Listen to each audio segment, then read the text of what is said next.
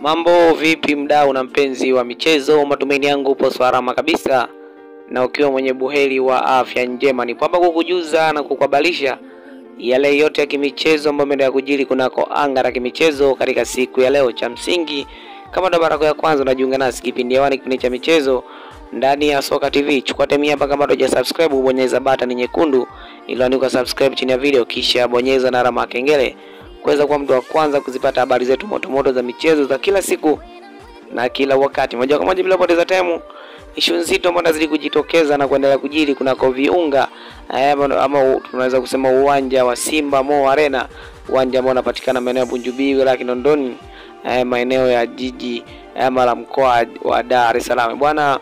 BBC wameweza kutua katika uwanja wa Simba Sport Club.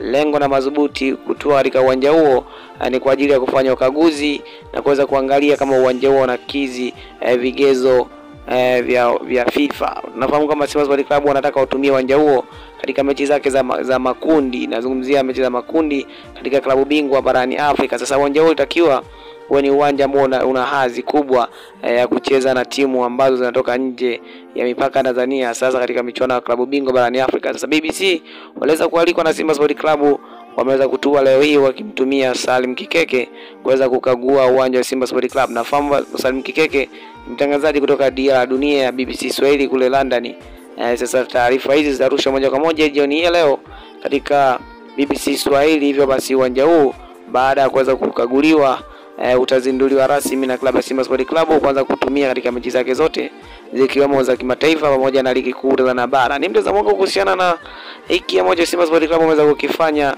e, kitaleta manufaa katika klabu ya Simba Sport Club. Weka comment section na subscribe kwa taarifa nyingi za michezo za kila siku na kila wakati.